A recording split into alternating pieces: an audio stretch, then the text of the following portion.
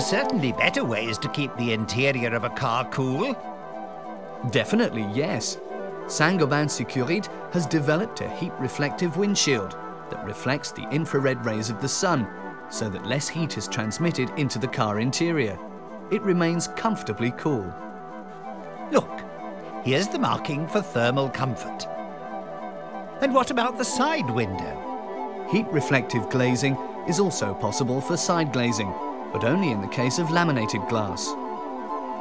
For standard tempered side lights, a heat-absorbing glass is a good choice to prevent high heat buildup.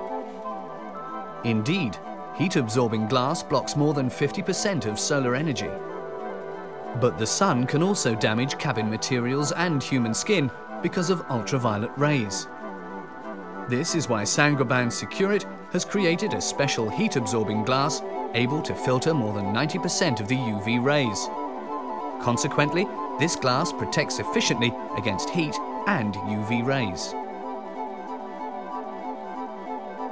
And for an even better thermal performance, you can use our dark tinted privacy glass for all rear, side and back windows as well as sunroofs.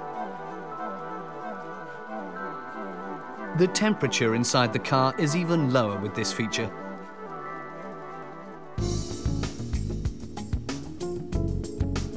Thanks to the IR reflecting and heat absorbing glazing, the time it takes to reach a comfortable temperature inside the car is considerably lowered and the use of the air conditioning can be reduced, thus saving energy, which helps to preserve the environment. No doubt, these two can really enjoy the wonderful warm weather although they're sitting inside a car. It all depends on choosing the right glass.